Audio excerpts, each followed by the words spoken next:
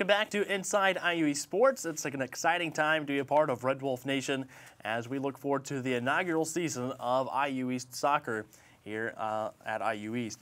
Joining me now to talk about the men's program is head coach Steve Moore. Coach, thanks for joining me today. Absolutely. Uh, let's just talk a little bit about what you've seen out of the team so far. I know practices have been underway for a little while now. Just what are you seeing out of them so far? Sure. Um, you know, we got started August 1st, um, and so we're about a week and a half in, and it's been been a good week and a half, long week and a half, but a good week and a half. Um, you know, obviously starting from from uh, from ground zero, there's a lot that we got to work on, a lot to see. Um, we've got a handful of guys that played together, maybe with their club team or with the high school team, and so we had seen those guys play together. Um, but for the most part, we've got a full roster that's never played together, and so there's just a lot to get through, a lot to sort out, get our um, style of play um, in, integrated in what they're doing. Um, it's been good. Um, we've had a good work rate. The guys are receptive. Um, the guys are enthusiastic about being here um, and the situation that we're in with being a new program, but um, a lot to work on, uh, a lot, lot still to get to, um, and that just comes with the comes with the territory of being a brand new program and, and never having had guys play together before. Well, you talk about the recruiting process, especially starting up a new program. How hard is it to get players to commit to a program that hasn't started yet because they know nothing about it. Sure. Um, I, I, was just thinking about it earlier today. I'm about six days out from having been here a year. Um, and a lot of miles went into it, a lot of emails, a lot of phone calls. Sure. Um, and, uh, you know, I went in, never having started a program before, rebuilt programs before, but never having started one. Um, you know, knowing that, hey, there's a, a an IU brand uh, that academically we get to sell. Mm-hmm. Um, and so figure that that was going to be a good thing. Um, I never want to say that recruiting is easy, um, but it went really well. Um, you know, there's a lot of, you know, despite the fact that we didn't have a product on the field for guys to see, despite, despite the fact that we didn't have guys on the team for the for recruits to be able to hang out with, spend time with, see what kind of a fit they would have on the team. It went really well. Um, there were a lot of guys that were interested. Um, you know, it, this is probably the first place that I've been um, NAIA Division three wise that you know we've actually been able to be pretty selective, um, which is um, really encouraging, being that this was our first year. It really uh, bodes well for the future. Um, that you know, first year, geez, we're already able to be selective and say, you know, I don't know, I don't know that that so and so that your talent level is quite there, um, or that your character or whatever the the holdup is. Um, we were really able to be pretty selective, and and I think uh, end up with a pretty good squad the first year. All right, well, let's go ahead and talk about your roster. Start off by telling us a little bit about uh, freshman Aaron Gibson. Sure. Uh, Aaron's uh, from Southern California. Um, uh, definitely a, a, new environment uh, for him to be at. Sure. Um, he uh, texted over the summer saying, "Hey, coach, you know I'm going out running probably later tonight about 9 o'clock because it's about 120 degrees today during the day uh, where he's from. So definitely a environmental adjustment for him. Uh, right. He's done great uh, jumping right in. Uh, and I would say kind of across the board, we've had great, uh, great success with guys getting along with each other, uh, getting in the mix, um, and he's absolutely jumped right in and personality's definitely been coming out the last week or so. So really excited for his future. Another freshman out of Fortville, Indiana, Josh Powell. Yep, um, Josh is a guy um, that I saw my very first week. Uh, uh, high school he played for Mount Vernon was out here playing Richmond, um, and he was a guy right from the get-go that uh, um, stood out um, as, as a goalkeeper um, that, that, I, that I think could and, and should have success at this level. he's got the physical component, his size-wise, athleticism. we got a commanding presence back there, definitely willing to, to direct um, and, and, give instruction to his defenders, um, and uh, it's been has had a good uh, good transition to the college level for him.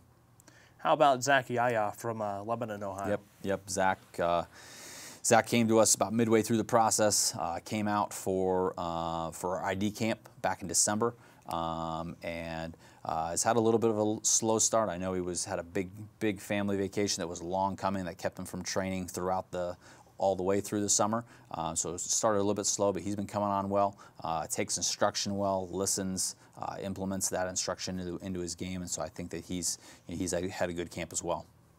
Uh, out of Fort Wayne, Indiana, tell us a little bit about Billy Guerrero. Um, Billy's done really well. Um, uh, gets along with guys, real technical player. Uh, definitely will will see time in the in the in the middle of the field for us. Um, uh, yeah, he's like I say, just a just a calming presence. Moves the ball well, technically uh, pretty adept, um, and and is one. You know, Fort Wayne's Fort Wayne's an area that uh, gets a lot of talent coming out of there. It's been great to have him on board. Not the first guy from Fort Wayne to commit, but definitely uh, is, is, has been a help to kind of establish a pipeline up there for us. All right. How about uh, Nathan Dove, also out of Fort Wayne? Nathan, Nate's also uh, same high school as Billy, a year out. Um, he's a transfer for us. Played at Tiffin last year. Um, Nate's a workhorse. Um, you know, he plays a number of different positions. Um, we've played him a bit outside back. We've played him in the middle. We played him up top. Played him all over the place. Um, he's got an engine, um, willing to do whatever it takes, um, and that's that's that's what we want. Um, he goes about goes about his business, doesn't complain, works hard. Um, I'm not sure, even still, you know, week and a half in, we got our first scrimmage on Saturday. Still not exactly sure where his best fit is. Um, he could fill a lot of holes for us, and we're excited, excited for for a transfer. Excited to have that kind of leadership on the team. All right. How about Nick Valentine from California? Yep, Nick's also another uh, one of our. I think we've got three juniors on the team, um, so uh, definitely he's got the opportunity to step up. He's got the experience. Um, played at a high level this summer, um, so knows that level. Um, you're just wanting him to uh, kind of assume that leadership position, um, you know, and kind of uh, take things over. He can play as a center back. I know he spent some time this summer playing uh, as kind of a defensive mid, uh, but he's got a lot of potential as well, um, and, and, and could be, uh, hopefully, will be um, that player that helps helps us transition in in the short term. All right. How about Nate Gunther? Uh, Nate's another transfer. One of, again, one of our other juniors uh, transferred in from St. Joe's, uh, Division Two. Um, so he's seen a high level. Uh, his, uh, his, team at St. Joe's had a lot of success his freshman year, um, and so uh, he's another guy that's got the potential to, the level wise anyway, should be able to make the transition here pretty seamlessly. Then from Greenfield, Indiana, how about Carson Jones?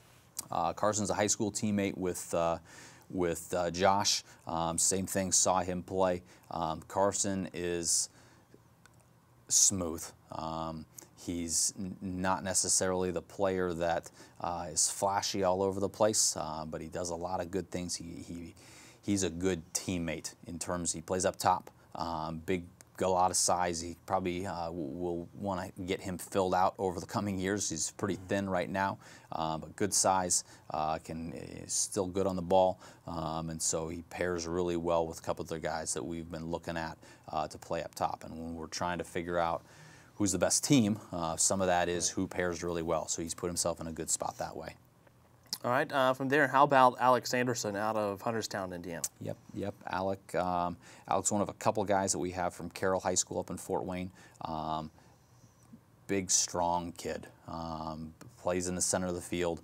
Um, not sure if we'll have him more in an attacking role, if we'll play him more uh, defensive midfield type of position, but just a big, strong kid, um, and is gonna is gonna transition well to the college game that way. A lot of times, the two biggest things usually, normally that we see transition-wise that guys struggle with um, is the physicality of the college game and speed of play of the college game. Um, and uh, for sure, from a physicality standpoint, Alex Alex going to transition well because he's he's just physically uh, bigger and stronger than a lot of the guys um, and, and, should make a pretty good transition that way. He's a little bit, got a bit of a quad issue that, that he's dealing with right now. We've got a number of guys um, that, are, that are dealing with some, some tweaks. Uh, nothing, we've been really, really fortunate in that nobody's had anything serious. Uh, that, that's, that's, you know, normally a lot of places I've been, geez, by this point we've got someone that's, you know, hey, we know they're going to be out for a month, month and a half, and we've been really fortunate in that there's not been nothing serious. Uh, so as soon as Alec gets back, I'm anxious for that uh, because he's he's a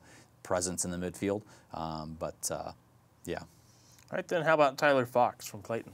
Tyler Fox is uh, a consummate teammate. Um, works hard, listens, asks questions. Um, it's it's rare that we've got to hound on him for something over and over. He does a good job of incorporating things into the into his play. Um, uh, not coming in as, as probably our most skilled player, so uh, there, there's work to be done. Um, but he, has got the personality, he's got the work rate that, that he's working on those things. when we give him things, when he comes and asks for, for things that he can work on, he's listening. You can tell that he's engaged that way. Um, and so I think that there's um, He's got a lot of potential for improvement, um, and I saw improvement from his game even even throughout the course of the recruiting process. And so I'm, um, I'm, I'm anxious to see. I think that the player that we see in four years graduating is a completely different player than the player that we see now, uh, because he's got a lot of, like I say, a lot of lot of opportunity for improvement, and, and, he, and he's a worker. From Fairfield, Ohio, uh, how about Daniel Sims? Yeah, Danny. Danny's a great kid. Um, again, it's similar to similar to Tyler in that works hard, um, doing what he's doing. Maybe he's had a bit more experience. Um, he's a guy that can play a number of spots. I know he played kind of some attacking mid. He played up top for his high school team. Uh, we'll probably see him more out wide. Um, but uh, not the not the, probably the smallest guy in stature on our squad. Um, big heart, uh, works hard, uh, will do anything that we ask of him. All right. How about Dumi uh, Kumwinda from Malawi? Yep, yep. Dumi's another transfer for us. Uh, played down in Louisiana, um, another NAIA school last year that went to the national tournament. So um, really, really excited to anytime you can have players that have, have experienced that level of success. Um, that's a good thing, especially for right. a program that's brand new. That you know, hey, we say all the things that we want. We want to we want to have that kind of success. You know, that it's one thing to say it; it's another thing to know what it takes to, to get there. Um, right. And so, having that kind of experience is is great.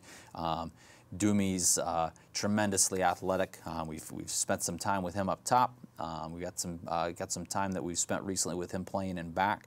Um, he's a vocal player. Um, Dumi's Dumi's going to see a lot of time for us this year. I'm excited for.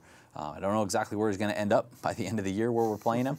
Um, you know, but but invariably he's going to be getting time, um, and I'm excited for. Uh, he's got a lot of personality too. Um, you know, you got to have those glue glue guys off the field that are gonna right. that are gonna kind of bind the team together, and he's he's one of those guys.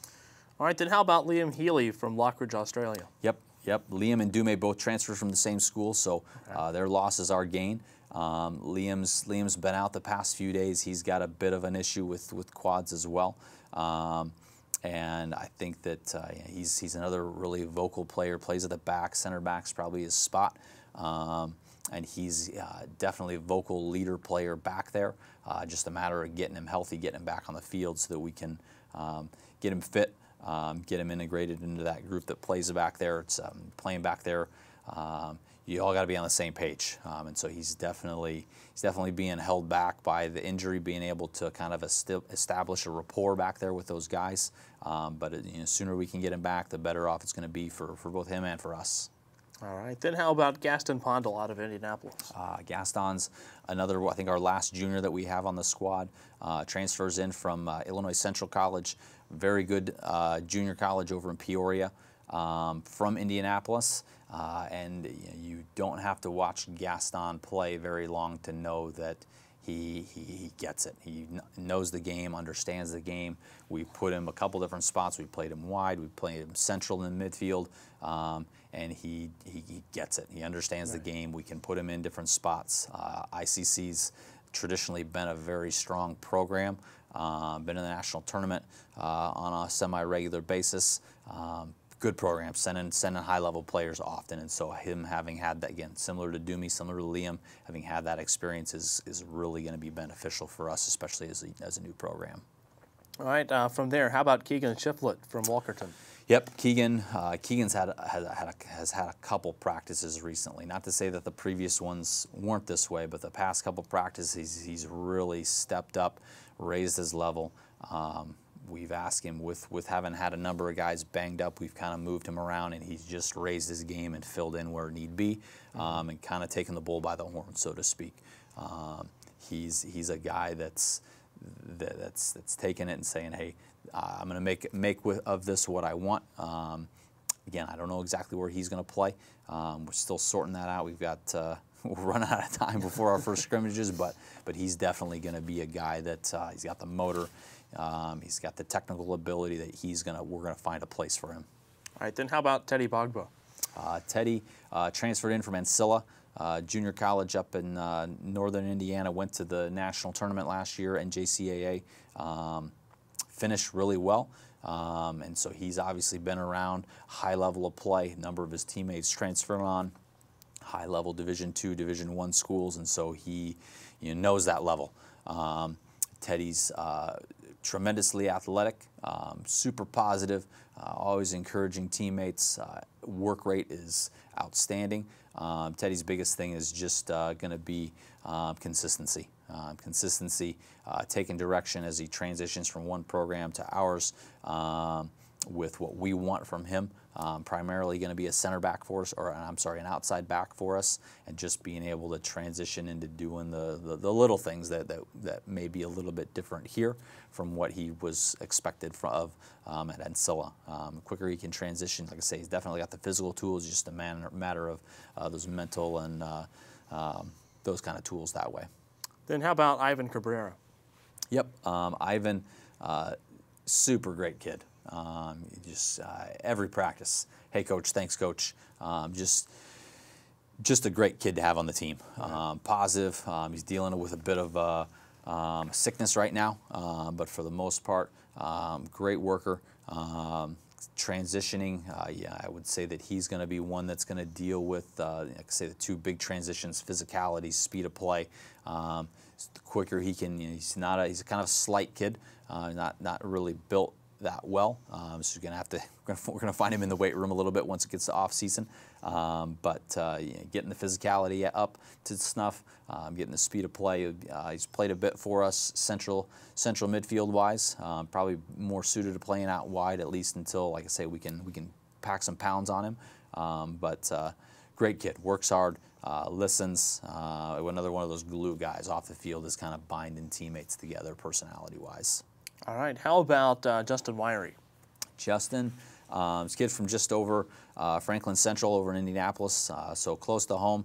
Um, Justin's uh, beginning to open up a bit more. He's not the not the most vocal guy in general, uh, but you know, week and a half in, I'm starting to hear him take more of a vocal uh, stance, being being more vocal that way, being more um, directive of teammates with what he wants. Um, that's a good thing. Um, we can less you got to have teams that talk a lot win a lot, generally speaking. Sure. Um, you know, communication is a big key, and so getting him just to kind of open up and and, and, and, take over that aspect of the game is going to be a good thing for us. He's uh, basically played his whole life as an outside back, and so that's probably where we'll see him primarily. Um, again, speed of play, physicality wise, he's, he's, he's a bit bigger, um, and so that's a good thing. Uh, but just getting getting his speed of play uh, sped up from what he was used to high school and club wise to the college level is going to be his kind of his objective primarily. All right, and how about Connor Hoot? Uh, Connor's another guy, uh, teammates with Billy, or I'm sorry, not with Billy, with uh, Alec up at Carroll in Fort Wayne. Um, same kind of thing, uh, just speed of play, um, athletically, physicality wise. Uh, athletically, he's good. Um, got some pace to him, got some agility. Um, he, we got to get him in the weight room. Uh, the physicality is, has, has getting knocked around a little bit. He's, he's held up to it well, um, uh, but we, we need him to be able to be a bit more physical. Uh, but he's you know he's a guy that uh, could contribute some time out on that out on the flanks for us. Okay, how about uh, Mamadou Sal? Mamadou, another guy from, from Indianapolis. Got a lot of guys, got a lot of guys local, um, yeah. and that's that's great. Um, I'm really excited about friends and family and parents and whatnot. We should be able to have a lot of guys come out for games. Uh, Mom, like I said, Mamadou's from Indianapolis. Mamadou, um, he's got uh, he's got a lot of natural ability um, that hasn't necessarily been totally refined yet, um, and so he's living a lot on instinct. Um, and, he, and he's done well. Um, you know, he, I think that uh, Mamadou's uh, potential is, is very high just because he's starting. You know, he is fairly early, a lot of refinement still to go, um, but, but that natural ability, natural athleticism, um, it's, it's going to give him a good base. Um, sure. And there's, there's opportunity for him if he'll um, you know, listen, if he'll work on his game come off season, throughout the season to getting extra touches, getting extra sessions. He's got a lot of potential. He's primarily going to be a center back for us, um, and that's that's a spot where. You know, unfortunately, kind of like goalkeepers, you know, you, you make a mistake and you can pay back there. You know, if right. forward, ah, you make a mistake, central midfield, you got a lot of guys still behind you that are going to help. You don't have a lot of chances to make mistakes in the back. You got to be you got to be on point all the time. Um, and so, trying to smooth out some of those rough edges is is, is going to be our goal with Mamadou as a as a coaching staff. And how about Dalen Troutman? Uh, Dalen uh, from Pike High School, another guy from Indianapolis. Um, had a really good program, a lot of success over there. Uh, Dalen, uh, I, I, see some some Dalen in uh, in, in Teddy. Um, a lot of athleticism, um, works hard, strong, physical kid. Um, that's definitely uh, that transition aspect for him should be pretty good. Uh, speed of plays definitely faster than what he's used to. Um, but uh, like I say, Dan, he's, he's willing to work, puts in the work. Um, he's, he's healthy. Uh, so there's opportunity for him as well. He's primarily played as an outside back. We may push him forward a little bit into the into the wide midfield spot because um, he's he's got some pace to get forward and get involved in the attack. Um, but but one of those wide positions is probably going to be his best bet. All right, then from Harrison, Ohio, how about Michael Hall? Yeah, Michael's uh, Michael's a guy that came to us late. Um, athletic, big, tall kid. Um, graduated a year ago. Played club with uh, with one of our other guys. I think we haven't gotten to quite yet. Um, uh, and so he's um, attitude-wise, work rate-wise, has been great. Um, he's uh, hasn't been full into soccer, having been out of high school for years, so played some indoor. Hasn't played quite as much recently as some of the other guys, and so he's had. Um, for lack of a better word, kind of had an uphill battle, kind of getting back into shape, getting back into form. Um, but uh, like I say, with it, from a size standpoint, he's a little bit, like I say, a little bit older, a little bit more mature, um, and so from that aspect, um, uh, he's a you know, good kid, works hard, uh, good to have on the team. I'm excited for for his potential once he kind of gets gets get, gets back into form.